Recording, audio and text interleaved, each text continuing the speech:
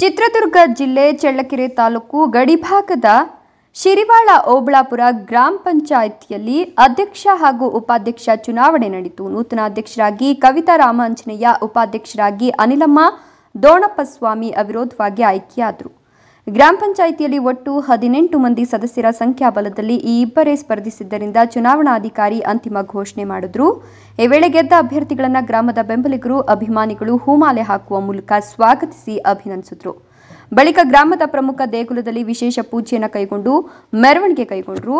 ಇನ್ನು ಈ ಸಂದರ್ಭದಲ್ಲಿ ಚುನಾವಣಾಧಿಕಾರಿಗಳಾಗಿ ಅರಣ್ಯ ಇಲಾಖಾ ಅಧಿಕಾರಿ ಬಹುಗುಣ ಅವರು ಕರ್ತವ್ಯ ನಿರ್ವಹಿಸಿದ್ರು. ಈ ವೇಳೆ ಗ್ರಾಮ ಪಂಚಾಯಿತಿ ಪಿಡಿಒ ರಜನಿಕಾಂತ್ ಸದಸ್ಯರಾದ ನಾಗರಾಜ, ಆನಂದ, ಲಿಂಗರಾಜ, ಕೆಟಿ ಮುದುಕುಮಾರ್, ಎಸ್. ಆನಂದಮೂರ್ತಿ, ಅಂಬುಜಮ್ಮ ಶಿವಮೂರ್ತಿ, ಯಶೋಧಮ್ಮ ರಾಜಣ್ಣ, ತನುಜ ಅಚ್ಚವಳ್ಳಪ್ಪ, ಚಂದ್ರಕಲಾ ಈಶ್ವರಪ್ಪ, ವೇದಾವತಿ ಶಿವಣ್ಣ, ರಾಘವೇಂದ್ರ ರೆಡ್ಡಿ, ಸುಮಲತಾ ಮಂಜಣ್ಣ, ತಿಪ್ಪಯ್ಯ, ಲಕ್ಷ್ಮೀದೇವಿ, ನಿಂಗಣ್ಣ, ಕುಮಾರ, ಊರಿನ ಮುಖಂಡರು, ಗ್ರಾಮಸ್ಥರು ಹಾಜರಿದ್ದರು Manjunath NKS TV four, Parashuramapura.